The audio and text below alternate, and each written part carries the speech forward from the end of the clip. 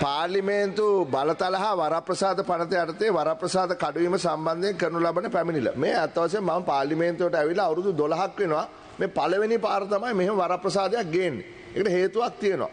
මොකද වරප්‍රසාද පනතේ මේකේ තියෙනවා ගරු වීරක්කොඩි මන්ත්‍රතුමා කතා කරපු විදිහට පාර්ලිමේන්තුවට හෝ යම් කාරක සභාවක් ඉදිරිහි පවත්නා හෝ ගෙනන ලබතයි අපේක්ෂිත යම් යෝජනාවකට හෝ කරුණකට තමා පක්ෂ බවට හෝ විපක්ෂ බවට ප්‍රකාශ කරවා ගැනීමට යම් මන්ත්‍රීවරෙක්ට බලහත්කාරය නින්දා හෝ තර්ජනය මගින් බලකර සිටීමට වෑයම් කිරීම.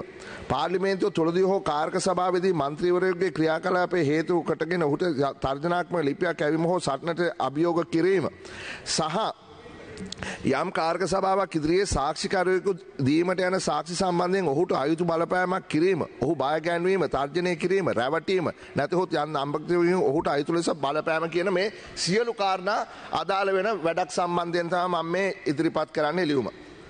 ගරු කතානායකතුමනි දෙදස් විසිතුන ඔක්තෝබර් දාසය වන දිනට පෙර පාර්ලිමේන්තු අනුමති විය යුතු දෙදස් විසිතුන ජූනි දාසය දිනැති අංක විසිතුනයි තිස්සා ඇලෙයිරක් හැට නමය දරණ අතිවිශේෂ ගැසට පත්‍රය සම්බන්ධව හදිසි අවධානය යොමු කිරීම.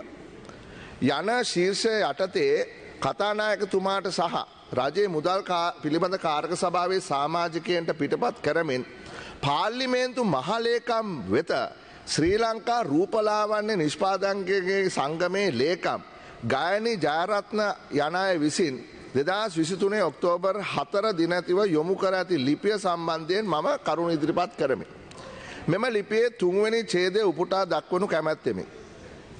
එම මෙහෙමයි කියන්නේ එම අංක විසිතුනයි තිස්සා ඇලෙයිරක් හැට නමේ දරන අතිවිශේෂ ගැසට් පත්‍රය මේ වන විට අනුමැතිය සඳහා පාර්ලිමේන්තුවට ඉදිරිපත් වී ඇති බවත් යම් යම් හේතුන් මත රජයේ මුදල් පිළිබඳ කාරක සභා විසින් ගත් තීරණයක් මත එම ගැසට් පත්‍රය පාර්ලිමේන්තුවට ඉදිරිපත් කිරීම මෙතෙක් සිදුවී නොමැති බව අපට දැනගැනීමට ලැබී ඇත.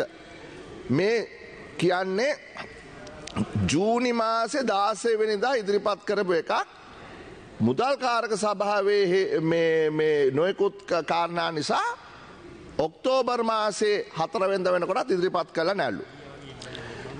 මෙම අංක විසි තුනයි තිස්සා ඇලයිරක් හැටනමේ දරන අතිවිශේෂ ගැසට් පත්‍රය විසිතුනේ ජූනි දාසය දින නිකුත් කර ඇතත් පාර්ලිමේන්තුව වෙත ඉදිරිපත් කර කාරක සභා වෙත යොමු කර ඇත්තේ දෙදස් විසිතුනේ ඔක්තෝබර් මස තුන්වැනි දිනදීය.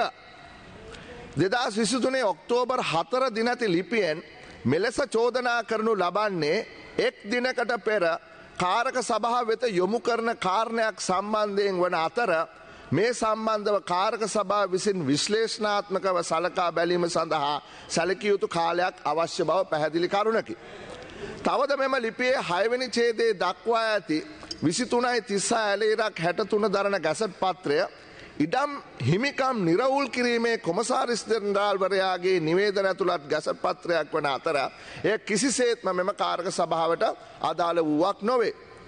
මෙම ලියුම්කරු විසින් සඳහන් කර ඇති අංක විසිතුනයි තිස්සා ඇලඉරක් හැට නමය දරන ජූනිම් දාසය දිනැති අතිවිශේෂ ගැසට පත්‍රයට සම්බන්ධකමක් දක්වන. හරි අපි හිතමු මෙයාට ගැසට පත්‍රයේ නොම්බරේ වැරදුනා කියලා. එනිසා හරි ගැසට පත්‍රයේ සම්බන්ධකමක් දක්වන රජයේ මුදල් පිළිබඳ කාර්ක සභාව විසින් සලකා බලන ලද අංක විසිතුනයි තිස්සා ඇලේරක් හැත්ත දෙක දරන දෙදස් විසිතුනේ ජූනි දාසය දිනැති අතිවිශේෂ ගැසට පත්‍රය පිළිබඳ කරුණු මා විසින් දන්වා සිටීමට කැමැත්තෙමි. එම අංක විසිතුනයි තිස්සා ඇලේරක් හැත්ත දෙක දරන ගැසට පත්‍රයද පාම් තෙල් මේද අම්ල ආනායනය සඳහා වන තීරුබදු ව්‍යූහය සංශෝධනය කිරීම සම්බන්ධ ගැසට පත්‍රයකි. එම ගැසට පත්‍රය විස්සයි විසිතුන සැප්තැම්බර් දහනමවැනි දින පාර්ලිමේන්තුව වෙත ඉදිරිපත් කර රජයේ මුදල් පිළිබඳ කාරක සභාව වෙත යොමු කර ඇති අතර කාරක සභා විසින් අදාළ අමාත්‍යංශ ගෙන්වා එදිනම ගරු ඥෝර්ද කතානායකතුමනි එක දවසක්වත් පමා කරන්න ඇතුව එදිනම එම ගැසට පත්‍රය පිළිබඳ කරුණු සලකා බන්න ලදී.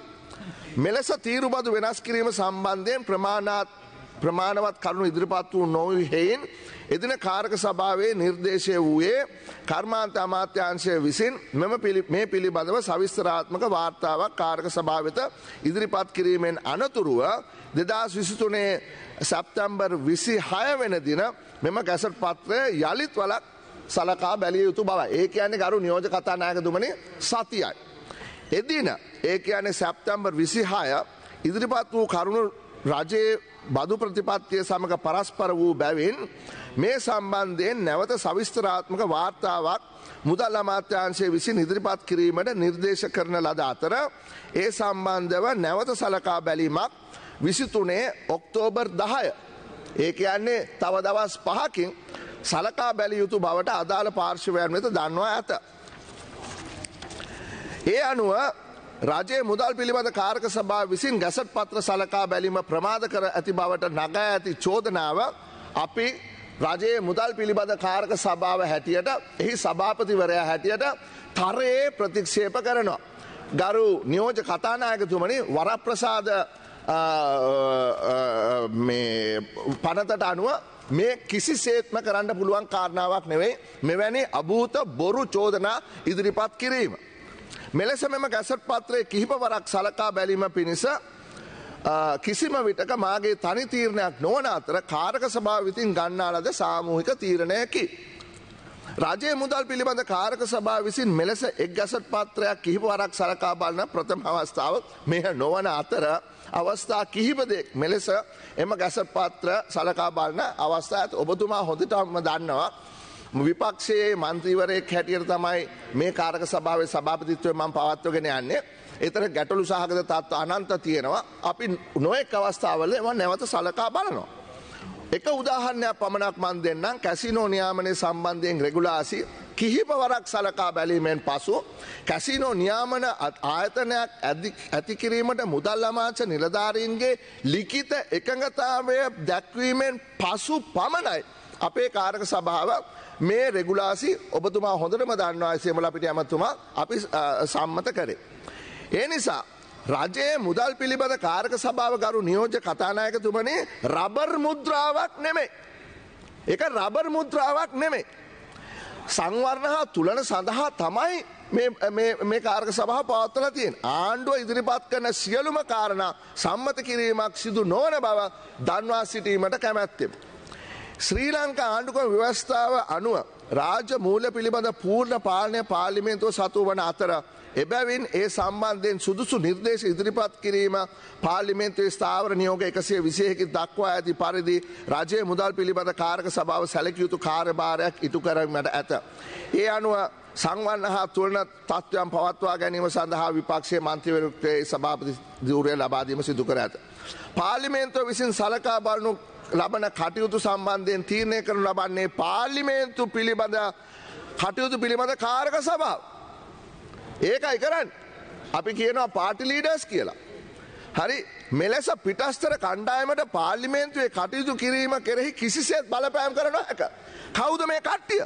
මේ කට්ටිය කොහොමද කුෂානී රෝහණදීර මැතිනයට ලියුමක් ලියර කියන්නේ මෙන්න මේ ගැසෙට් එක මෙන්න මේ දවසර ගන්නේ කියලා.